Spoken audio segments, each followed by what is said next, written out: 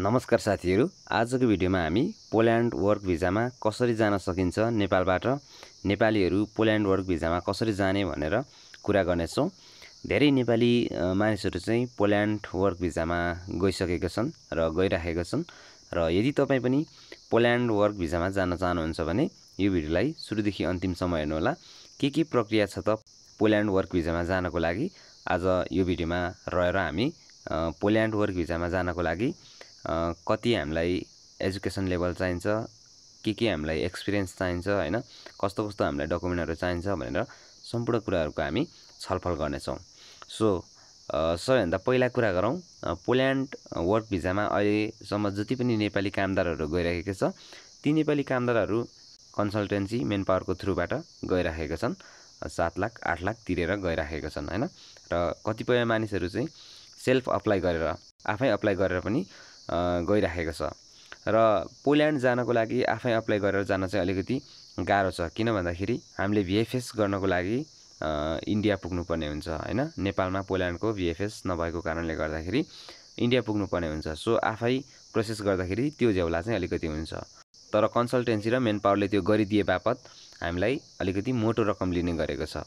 र तपाईँ पनि आफै अप्लाई गरेर जान चाहनुहुन्छ तपाईँसँग केही त्यो खुबीहरू छ तपाईँसँग केही रिसर्च गर्ने एउटा नलेजहरू छ तपाईँसँग त्यो खुबी छ भने तपाईँ आफै पनि अप्लाई गरेर भिएफएस गरेर तपाईँ जान सक्नुहुन्छ होइन?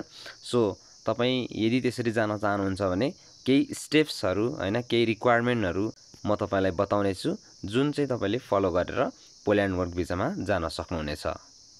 र पोल्यान्ड वर्क भिजामा तपाईँले जानको लागि चाहिँ सबैभन्दा पहिला तपाईँले जब अफर पाउनुपर्ने हुन्छ।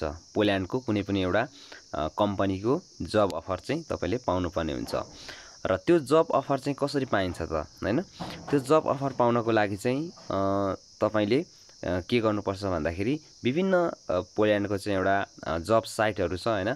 त्यो जब साइटहरूमा चाहिँ गएर तपाईँले जब खोज्नुपर्ने हुन्छ।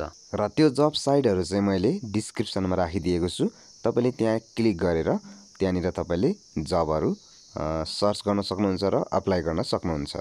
र त्यो जब खोज्दाखेरि चाहिँ तपाईँले के के कुराहरू गर्नुपर्छ भन्दाखेरि तपाईँले सिबी बनाउनु पर्ने हुन्छ कभर लेटर बनाउनु पर्ने हुन्छ होइन? अनि तपाईँसँग एक्सपिरियन्स पनि हुनुपर्छ केही कामको जस्तै होटल लाइनहरूको होइन?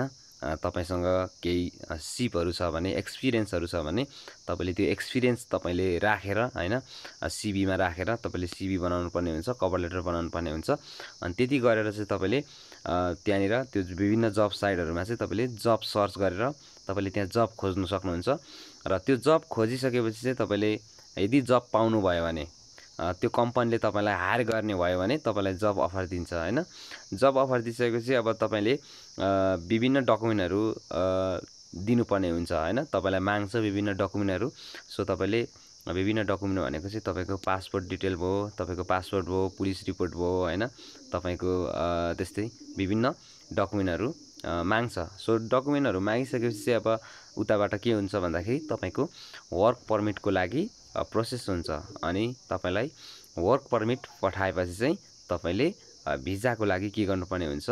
भिएफएस जानुपर्ने हुन्छ होइन? अब भिएफएसको लागि चाहिँ तपाईँ इन्डिया जानुपर्ने हुन्छ होइन? भिएफएसको लागि चाहिँ इन्डिया जानुपर्ने भएको कारणले गर्दाखेरि नेपालमा भिएफएस छैन। सो तपाईँ भिएफएस चाहिँ इन्डियामा जानुपर्ने हुन्छ र भिएफएस गइसकेपछि चाहिँ तपाईँले त्यहाँबाट भिजाको प्रोसेस गर्न सक्नुहुन्छ अनि त्यसपछि तपाईँलाई इन्टरभ्यूहरू हुन्छ होइन? इन्टरभ्यूहरूको अपोइन्टमेन्टहरू तपाईँले त्यहाँ लिन सक्नुहुन्छ। सो त्यति भइसकेपछि चाहिँ अब तपाईँको भिजा आउँछ। तपाईँको भिएफएस प्रक्रियाहरू तपाईँले गरिसक्नु भएपछि चाहिँ भिजा आउँछ। त्यसपछि तपाईँले विभिन्न ट्राभल डकुमेन्टहरू मिलाएर तपाईँले चाहिँ टिकट सिकट गरेर तपाईँ जान सक्नुहुन्छ पोल्यान्डमा।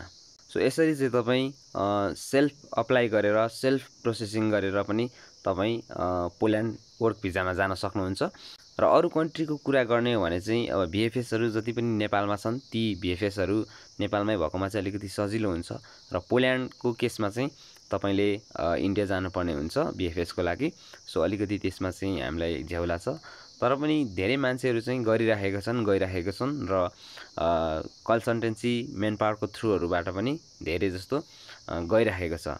सो अब त्यसमा चाहिँ तपाईँको विचार होइन पोल्यान्ड जानको लागि तपाईँले मेन पावरलाई पक्रेर तपाईँले अलिकति मोटो रकम बुझाएर जान चाहनुहुन्छ भने त्यसरी पनि जान सक्नुहुन्छ आफै एप्लाई गरेर सेल्फ यो तरिकाले पनि जान सक्नुहुन्छ। तर तपाईँको भिजा लाग्ने ग्यारेन्टी चाहिँ हुँदैन। भिजा हन्ड्रेड पर्सेन्ट लाग्ने ग्यारेन्टी नभएको कारणले गर्दाखेरि मेन पावरहरूले पनि तपाईँसँग एक डेढ लाख चाहिँ पहिल्यै एडभान्स लिएर त्यो पैसा खाएर पनि तपाईँलाई एक वर्षसम्म झुलाइदिने अथवा त्यो पैसा खाएर हिँडिदिने खालको पनि हुन्छ। सो ओके आजको भिडियोमा यति नै। भिडियो मन पऱ्यो भने लाइक कमेन्ट एन्ड सेयर गर्न नबिर्सनु होला नेक्स्ट भिडियोमा फेरि भेट्नेछौँ। तबसम्मको लागि गुड बाई।